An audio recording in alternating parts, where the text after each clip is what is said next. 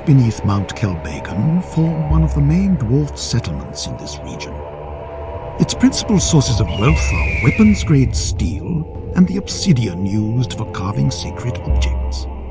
It is a very ancient site, known to all races and peoples from the central kingdoms to the far peoples of the sea, unlike the other cities of the dwarves, which are generally secret places. Since time began, the dwarves have struggled against evil. Safe beneath the mountains, they have accumulated the wisdom, wealth, and power to combat the forces of darkness.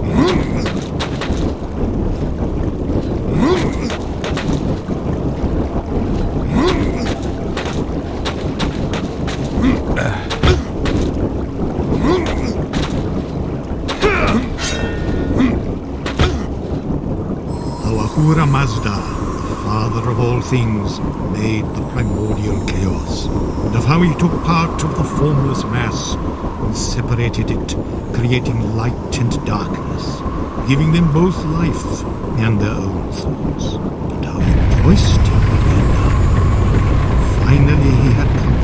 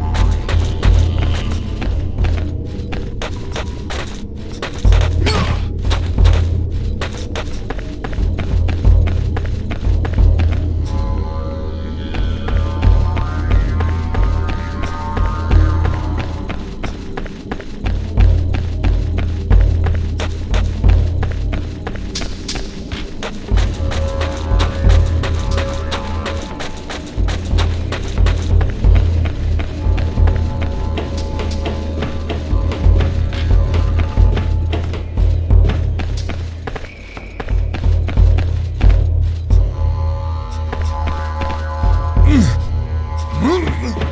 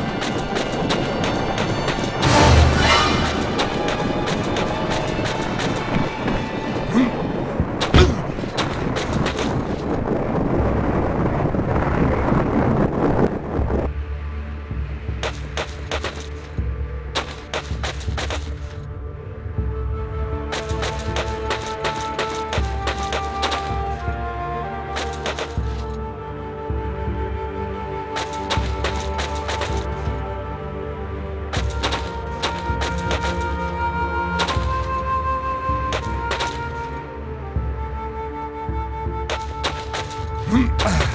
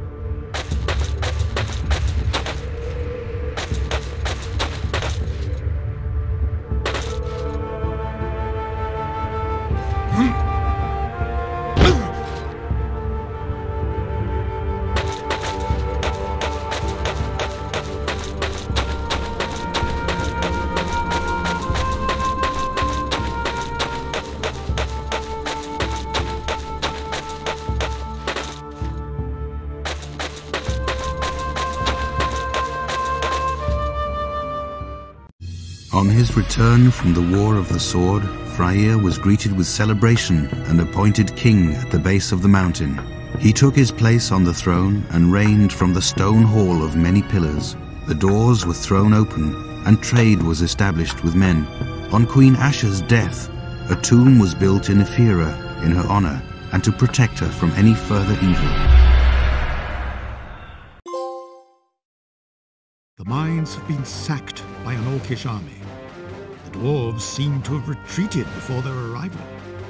The old story of Freyr, the dwarven hero, speaks of powerful weapons hidden in the tombs of Ephyra. Perhaps you will find some answers there.